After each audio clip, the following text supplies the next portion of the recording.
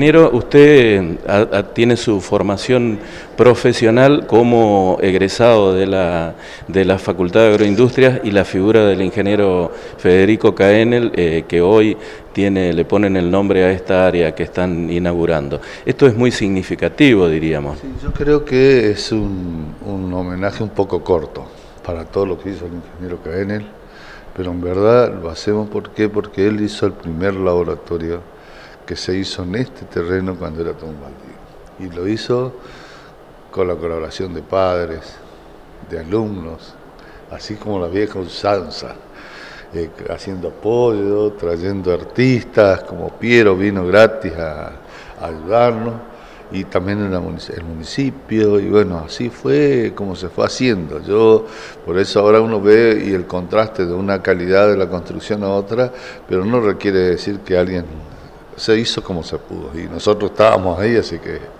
y fue un crecimiento y bueno, ahora tenemos la oportunidad ya como universidad, porque este, nosotros como facultad teníamos un presupuesto que era el 1,8% del presupuesto de la Universidad Nacional Nordeste.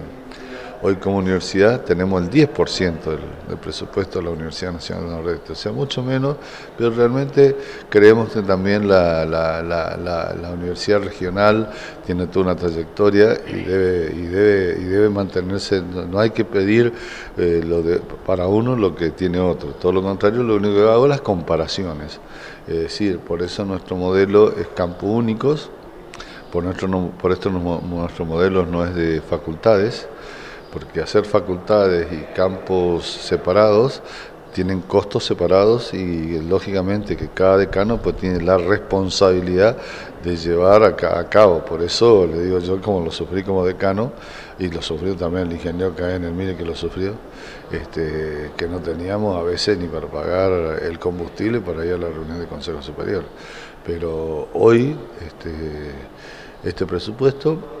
Ah, tal vez a veces está criticado por la administración, pero bueno, los resultados están a la vista. Este ritmo de crecimiento va a quedar chico el predio. ¿Cuáles son los nuevos desafíos? No, los nuevos desafíos son seguir ah, este, avanzando en el área, en el área, en el área del edificio tecnológico, que vamos habilitando paso a paso todos los pisos por el, por el tema de banco. Imagínense que yo sillas por, por por, por, por piso necesito 350. y bancos,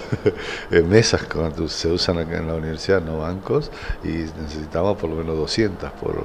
por, por, por, aula. Entonces, estamos hablando de,